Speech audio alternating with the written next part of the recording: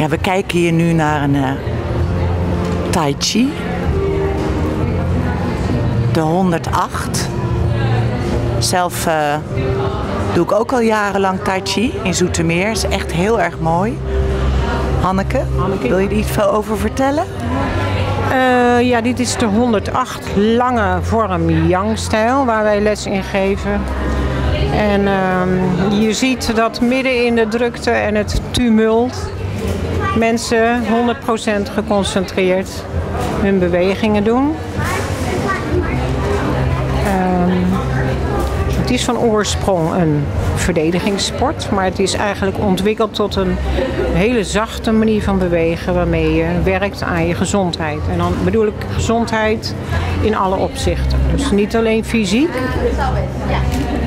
maar ook mentaal, eh, spiritueel zelfs. En als je het vraagt aan mensen wat doet Tai Chi voor je, dan krijg je een heel breed scala aan effecten. Eh, dingen waar ze al jaren mee kampen. Eh, blessures die heel langzaam, niet binnen in één week, maar na verloop van tijd, heel langzaam overgaan. Eh, mensen die meer evenwicht ervaren, niet alleen letterlijk fysiek, maar ook in het dagelijks leven. Dus dat ze moeilijke situaties beter aankunnen. Ehm, er zijn mensen die zeggen ik slaap beter, ik heb meer energie of ik kan wat beter de stress eh, hanteren die ik in mijn dagelijks leven meemaak. En dat kan je dus allemaal leren bij Tai Chi, niet binnen een week. We doen ongeveer zes maanden over het aanleren van elke beweging van die 108 vorm.